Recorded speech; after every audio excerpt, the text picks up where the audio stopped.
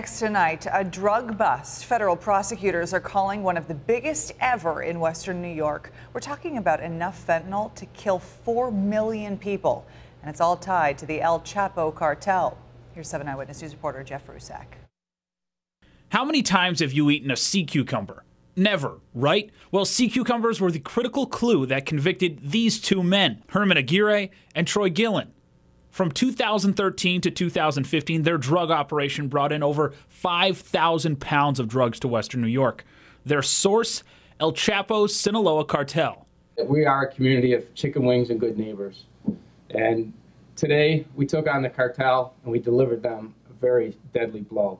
These were just two of 15 people charged in creating phony seafood companies that were used to sell large quantities of drugs, including fentanyl.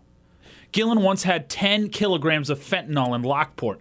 That's enough to kill everyone in Erie County more than four times over. Police seized eight of these kilograms in Cheektowaga.